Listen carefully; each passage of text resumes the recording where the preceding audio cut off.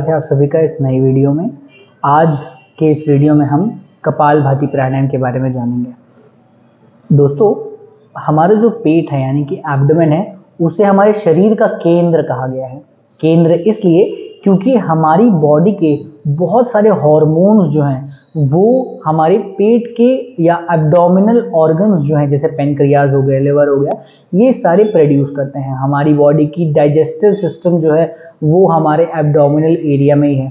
Digestive system ही वो organ है या वो सिस्टम है जो बाहर से आने वाले फूड्स से एनर्जी एक्सट्रैक्ट करती है, जिसकी वजह से पूरी बॉडी में एनर्जी का संचार होता है और जो वाइटामिन न्यूट्रिएंट्स मिनरल्स जो इस एनर्जी को बनाने के लिए चाहिए, वो पेट के द्वारा, यानी कि एब्डोमिनल ऑर्गन्स के द्वारा ही आते हैं। तो ऐसा कहा जाता है कि अगर हमारा जो पेट है, वो स्वस्थ है, वो ठीक है तो हमारी बॉडी में होने वाली 90 परसेंट बीमारियों से हम ऐसे ही मुक्त हो गए हैं। तो आज पेट की समस्याओं को दूर करने के लिए कॉन्स्टिपेशन से जूझ रहे लोगों की हेल्प करने के लिए, गैस की प्रॉब्लम को ठीक करने के लिए एसिडिटी को ठीक करने के लिए कॉन्स्टिपेशन को ठीक करने के लिए इनडाइजेशन को ठीक करने के लिए अल्सर्स हर्निया को प्रिवेंट करने के लिए जो प्राणायाम है, वो कपाल भाती प्राणायाम हम आज सीखने वाले हैं। कपाल भाती प्राणायाम को बहुत सारे लोग जो है वो गलत तरीके से परफॉर्म करते हैं, जिसकी वजह से उन्हें नेगेटिव इफेक्ट्स या साइड इफेक्ट्स जो है वो देखने को मिलते हैं। तो कपाल भाती प्राणायाम कैसे किया जाता है? साथियों कपाल भाती प्राणायाम करने के पहले हम ये समझते हैं कि ब्रीद इन और ब्रीद आउट यानी कि सांस लेने और छोड़ने की सही और नेचुरल प्रक्रिया जो है वो किस प्रकार की है।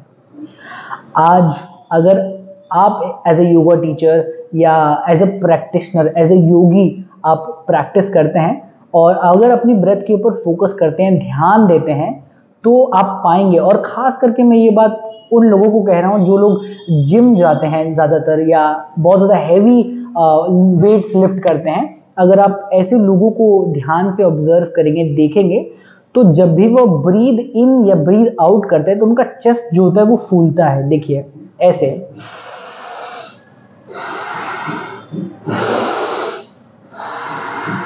ज़्यादातर लोग इसी प्रकार से breathe in and breathe out जो है वो करते हैं। हालाँकि मैं बता दूँ कि ये ब्रीद इन और ब्रीद आउट करने का नेचुरल और सही तरीका नहीं है। इस प्रकार से breathe in and breathe out करने से हमारे एब्डोमिनल रीजन और थोरासिक रीजन के बीच में जो डाइफ्रम है, उसकी मूवमेंट बंद हो जाती है, जिसकी वजह से डाइजेस्टिव सिस्टम रिलेटेड प्रॉब्लम जो है, वो होती है। आजकल इस बात का जो सिग्निफिकेंस है, वो आप देख सकते हैं कि छोटे बच्चे हो गए या 20 से 25 साल के बच्चे हो गए, या जैसे ही एक व्यक्ति की उम्र है, वो 30 तक पहुँचती है, उसके पहले उसे डायबिटीज़ हो जाता है, उसे ब्लड प्रेशर की शिकायत हो जाती है, उसे डाइजेस्टिव सिस्टम रिलेटेड प्रॉब्लम हो जाती है। फॉरेन कंट्रीज़ में ऑलमोस्ट हर एक इंसान को कॉन्स्टिपेशन की प्रॉब्लम है। तो ये इसी वजह से होती है क्योंकि हम गलत तरीके से breathe in and breathe out करते हैं। तो सही तरीके से ब्रीद इन और ब्रीद आउट किस प्रकार से करते हैं, पहले ये सीखेंगे।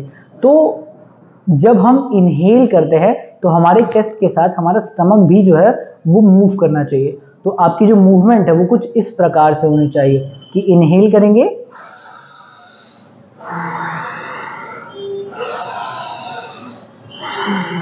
तो स्टमक और चेस्ट की दोनों की मूवमेंट जो है, वो इस प्रकार से होनी चाहिए। ज़्यादातर लोगों की मूवमेंट कैसी होती है? सिर्फ़ चेस्ट की मूवमेंट होती है।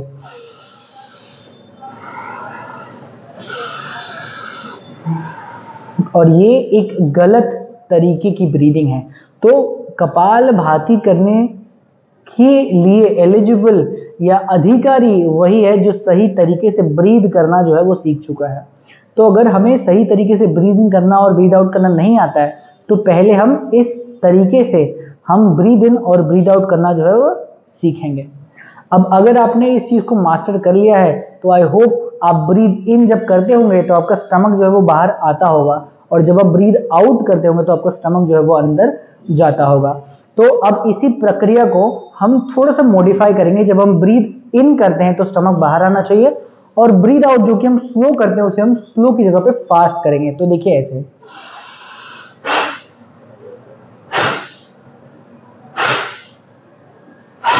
तो अभी सिर्फ़ मैंने नोज़ के ऊपर फोकस करके ब्रीद इन स्लो किया बट ब्रीद आउट फास्ट कर रहा हूँ ध्यान रहे, मैं इनहेल हर बारी करता हूँ और एक्सेल भी हर बारी करता हूँ। तो हमें इनहेल करना है और फिर एक्सेल करना है।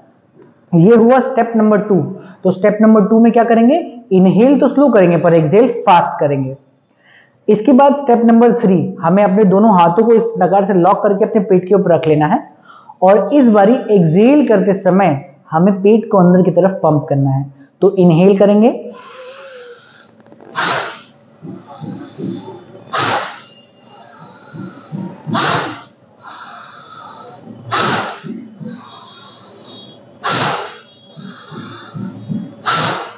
और इस प्रकार से जब आपका अभ्यास हो जाए तो आप अपने हाथों को किसी मुद्रा में रखते हुए कपाल भाती का अभ्यास कर सकते हैं, जो कि इस प्रकार है।